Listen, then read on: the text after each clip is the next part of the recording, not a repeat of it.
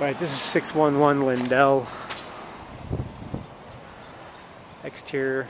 It is actually a one car carport. It has it listed as a garage. This thing's a total gut. Inside, it actually needs windows. Uh, it does have central air as you walk in. You have three bedrooms to the right. Kitchen over here, kind of a patio back this way. Sliders need to be replaced. It's a busted open slider. Kitchen needs to be replaced. This is actually an artificial wall that could probably come out and just make this a big open kitchen. Kitchen needs to come out. The roof is 2008. This is the carport that they've actually closed up to be like a little room.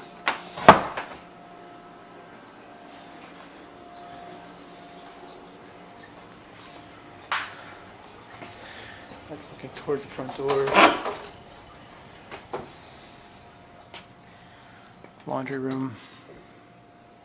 It is all natural gas. Gas water heater is newer. Um, it does need doors, ceiling scraped. It does have drywall work. Air handler, if we could put that in the other room with the hot water heater, it'd be great to open up this closet.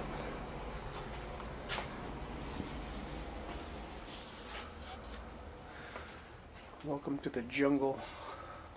Holy mama. Uh, bedroom one. Windows are covered.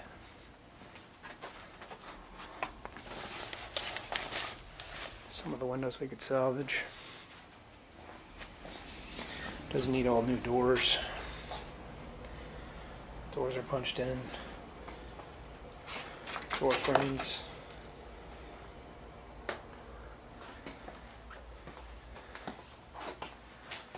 Bedroom two. Plaster is ripped off the wall. It looks like they had a roofing problem at one point in time. Let's see if I can get that for you. There's actually a wall AC that was over there at one point in time. They have a piece of plywood on it.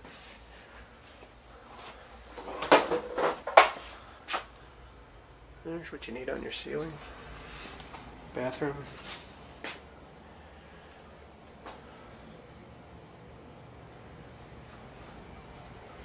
Master bedroom. It is all tile all the way through. As you can see, it did have a wall AC unit.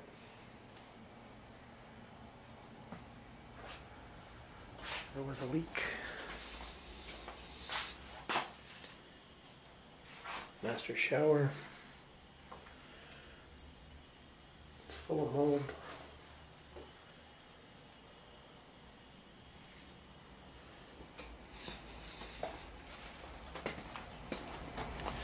Walking back out.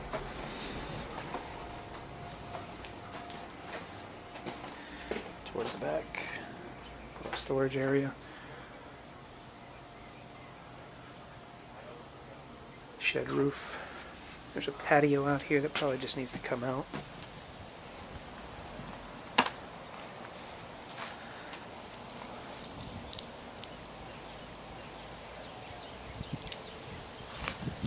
Backyard's full of crap. It is fenced in. Uh, fence does need repair. Needs some major landscaping pulled out. There's a gas meter. AC unit.